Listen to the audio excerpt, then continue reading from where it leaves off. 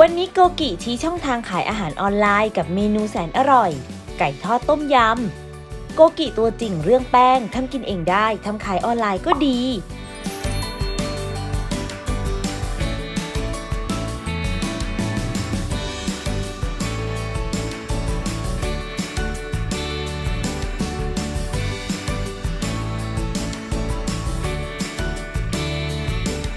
วิธีทำ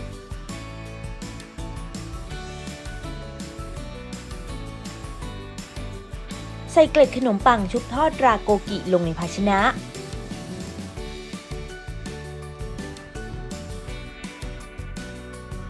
ตามด้วยแป้งปรุงรสครบสูตรรสเผ็ดราโกกิ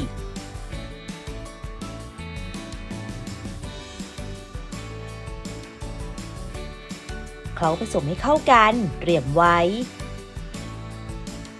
นำสันในไก่หั่นชิ้นลงชุบไข่ไก่ตีพอแตก นำขึ้นคลุกส่วนผสมแป้งที่เตรียมไว้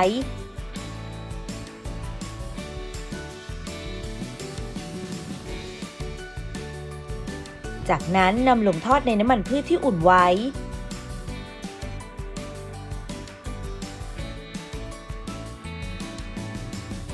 ทอดจนสุกเหลืองกรอบ ตักขึ้น พักให้เสด็จน้ำมัน ใส่น้ำพริกเผาลงในภาชนะ ตามด้วยมายองเนสข่าสับละเอียด และตะไคร้สับละเอียด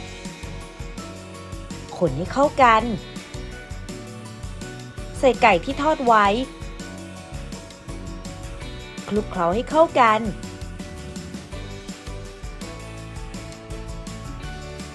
จัดใส่ภาชนะพร้อมเสิร์ฟค่ะกับเมนู ไก่ทอดต้มยำทำง่ายมากๆเลยใช่ไหมเลยคะ กรอบอร่อยทันสมัยใช้โกกินะคะ